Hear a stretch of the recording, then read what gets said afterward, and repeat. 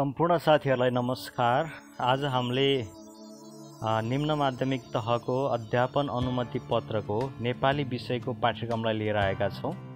पहिलो पत्र दोस्रो पत्रको बारेमा पनि तपाईँहरूलाई पक्कै पनि जानकारी होला नभए आगामी दिनहरूमा हामीले दोस्रो पत्र पनि लिएर आउने नै छौँ। पहिलो पत्रमा चाहिँ तपाईँहरूले कस्ता कस्ता विषयवस्तुहरू पढ्नुपर्छ भन्ने बारे जानकारी मैले लिएर आएको छु। पहिलो पत्रमा तपाईँहरूलाई पक्कै पनि थाहा होला। पैँसठी नम्बरको चाहिँ सिक्सटी फाइभ नम्बरको चाहिँ तपाईँहरूलाई प्रश्न सोधिन्छ।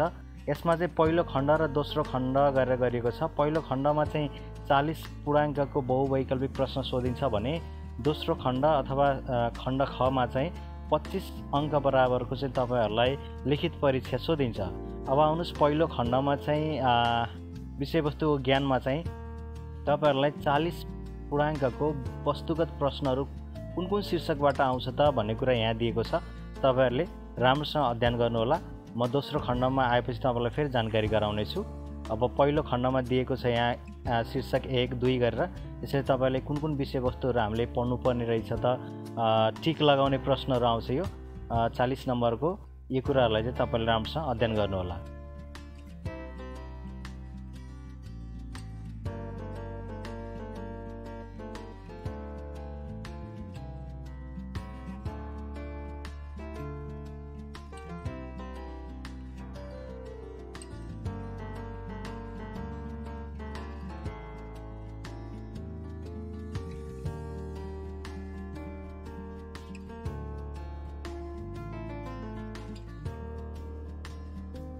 तपाईँहरू देख्न सक्नुहुन्छ खण्ड खमा भाषा सिकाइ सहजीकरण प्रक्रिया भनेको छ। यहाँदेखि क्रमशः तपाईँहरूले देख्दै हेर्दै जान सक्नुहुन्छ। यसबाट चाहिँ तपाईँहरूलाई पच्चिस नम्बरको लिखित परीक्षा हुन्छ। लिखित परीक्षामा तपाईँहरूले चाहिँ आफ्नो विषयसँग सम्बन्धित जुन विषय पढ्नु भएको छ त्यो विषयसँग सम्बन्धित प्रश्नहरू आउँछ। यहाँ मैले यो भिडियोको कुरा गर्दाखेरि चाहिँ नेपाली विषयको हुनाले मैले निमावि तहको नेपाली विषयको बारेमा तपाईँलाई जानकारी गराइरहेको छु। तपाईँले पढ्नुपर्ने विषयवस्तुहरू यहाँ सर दिएको छ। यसलाई राम्रोसँग अध्ययन गर्नु होला। खण्ड कको चाहिँ चालिस नम्बरको र खण्ड खमा चाहिँ पच्चिस नम्बरको। यो चाहिँ भयो तपाईँको पहिलो पत्रमा। र दोस्रो पत्रमा चाहिँ तपाईँहरूले चाहिँ पैँतिस नम्बरको छुट्टै परीक्षा दिनुपर्ने हुन्छ। त्यो चाहिँ निभावी तहको सबै विषयहरूलाई काम लाग्ने प्रश्नहरू आउँछ। त्यसको बारेमा मैले जानकारी पछि गराउँदै गर्नेछु। अहिले चाहिँ दोस पहिलो पत्रको बारेमा चाहिँ राम्रोसँग अध्ययन गर्नुहोला।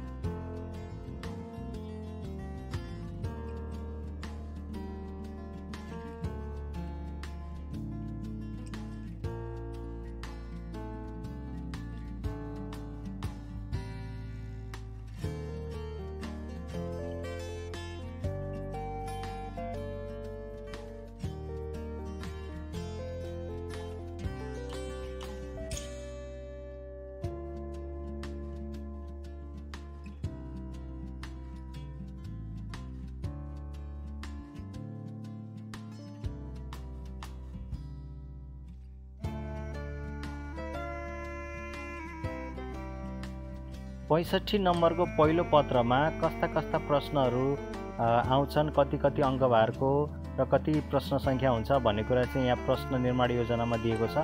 यो तालिकालाई तपाईँलाई राम्रोसँग अध्ययन गर्न सक्नुहुन्छ।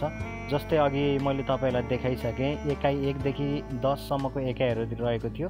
एकाइ एकदेखि पाँचसम्म सरी चारसम्म र एकाइ दसको चाहिँ तपाईँहरूलाई चाहिँ यहाँ बहुवैकल्पिक प्रश्नहरू आउँछ। जस्तै एकाइ एकबाट चाहिँ प्रश्न नौवटा प्रश्न आउँछ।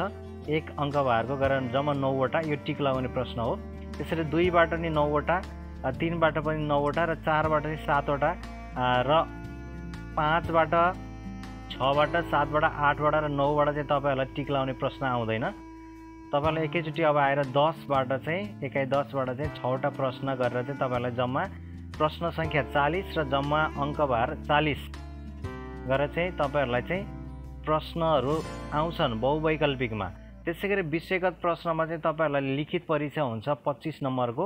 यो पहिलो पत्रको अन्तर्गतको कुरा गरिरहेको छु मैले। तपाईँहरूलाई जुन विषय लिनु भएको छ पढ्नु भएको छ जुन विषयमा तपाईँहरूले चाहिँ अध्यापन अनुमति पत्र चाहिँ निकाल्न खोज्दै हुनुहुन्छ त्यो विषय कुरा गर्दैछु। त्यो प्रसङ्गमा चाहिँ मैले नेपाली विषयको कुरा गर्दैछु। अन्य विषयहरूमा पनि आउने सङ्ख्या यसरी नै हो। यसमा चाहिँ तपाईँहरूको विषयगत प्रश्नमा चाहिँ एकाइ एक दुई तिन चारसम्म चाहिँ तपाईँहरूलाई लिखित परीक्षामा प्रश्न आउँदैन। तपाईँहरूलाई चाहिँ त्यहाँबाट आउने प्रश्न भनेको तपाईँहरूलाई चाहिँ विशेष गरेर बहुवैकल्पिक आउँछ। तपाईँहरूलाई आउने एकै पाँच छ सात आठ र नौ यतिबाट चाहिँ पाँचवटा प्रश्नहरू पा पाँच अङ्कको दरले तपाईँहरूलाई सोधिन्छ। जम्मा गरेर तपाईँको पच्चिस अङ्कको यो लिखित परीक्षा हुन्छ। यसरी चाहिँ दिएको छ। टोटलमा चाहिँ तपाईँहरूको चाहिँ पैँसठी नम्बरको प्रश्न चाहिँ तपाईँहरूले चाहिँ प्रस प्रथम पत्रमा चाहिँ तपाईँहरूले दिनुपर्ने हुन्छ। र यो कुराहरूलाई चाहिँ मनन गर्नुहोला र तपाईँहरूलाई चाहिँ पिडिएफ फाइलको कुरा गरिरहेको थिएँ मैले।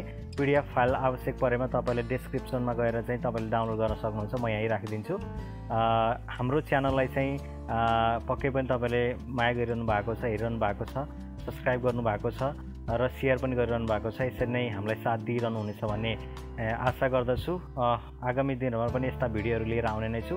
तपाईँहरूको थप जानकारीको लागि अहिलेलाई भने बिदा चाहन्छु। धन्यवाद।